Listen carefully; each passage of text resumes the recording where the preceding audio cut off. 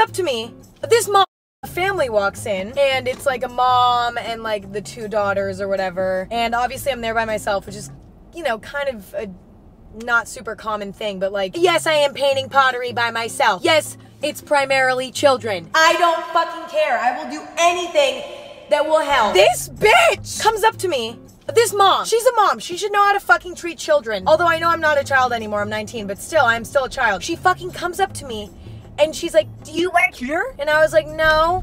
And then she gave me a weird look and I was like, I just have anxiety. Like, this really helps me with that. And then she was like, Okay and fully gave me the craziest attitude. I almost started crying. I literally got up and I left. It was just so rude. Who gives a fuck why I'm painting pottery? I have so much pent up anger about that that I believe that I need to exercise. Oh, oh, Emma is unstable. I cried about that. I did cry about that. This video is about recovering from a mental breakdown.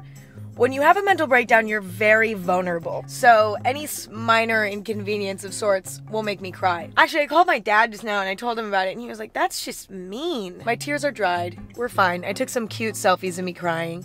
That's the whole point of it all, isn't it? You gotta think about the shit that you say to other people. Like, I, I mean, I don't even think about it like that often. You know what I mean?